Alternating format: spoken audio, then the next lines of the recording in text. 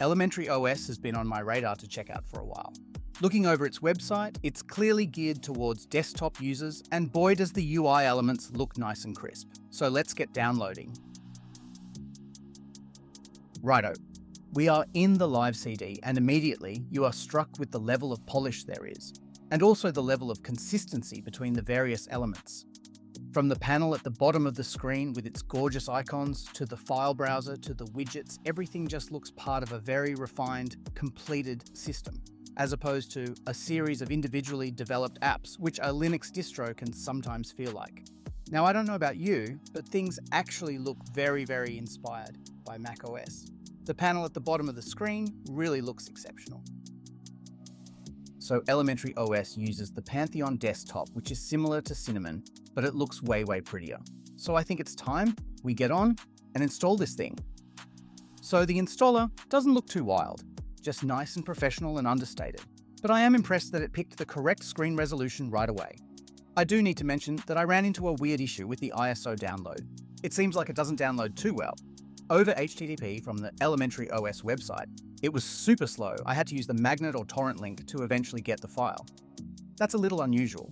I would expect a distro that's aimed towards desktop users and is inspired by macOS to just be available without the need for a separate torrent client. It's just an additional step that doesn't make sense given your target audience. Alright, we are finally in the new installed system and believe it or not, it's actually the next day. Now the first thing I do with these walkthroughs are install a screen recorder if it's not available on the system. On Elementary OS, however, this was a challenge. Firstly, by default, the Software Center contains a limited set of apps.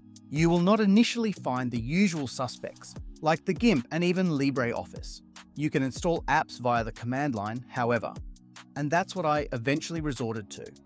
Now, an update to the OS, an extension called Sideload, offers you the larger list of flat packs, but I had to restart, download around 300 plus app updates before this was enabled. The entire process did remind me of Windows and Mac OS, which might be what they were aiming for. Moving on, the number of installed apps that come with the system is relatively small, but I do like how the menu is set up.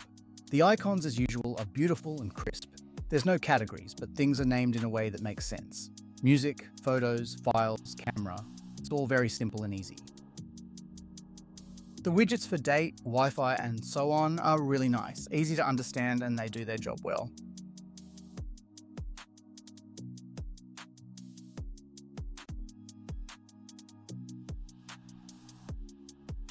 Okay, let's check out the system settings. It is also nicely laid out and easy to understand. There are some obvious nods towards macOS, but that's not a bad thing, in my book. There are a few really nice wallpapers that come with Elementary OS, I would say. It is a case of less is more with this distro. They seem to have made a conscious decision to reduce the settings and adjustments that you have access to, there's a notable lack of theming, like completely missing. There is, however, dark mode, and a few adjustments that can be done to the panel, the highlight color, and so on.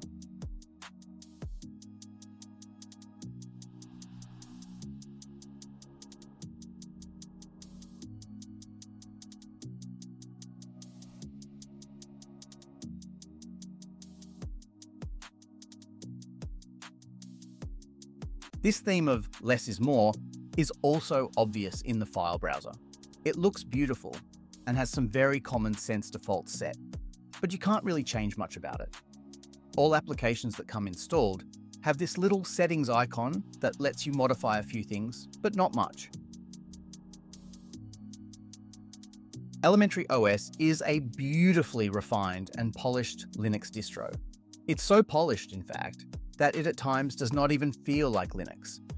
If you want a desktop experience like macOS that's not macOS, then it is really, really close to perfect. I would probably give it a 10 out of 10 for its UI, but it removes and limits just a bit too many components for me to recommend it to someone wanting to get the full Linux experience. Okay guys, this ended up being a lot shorter video than I expected, but hopefully it was enjoyable.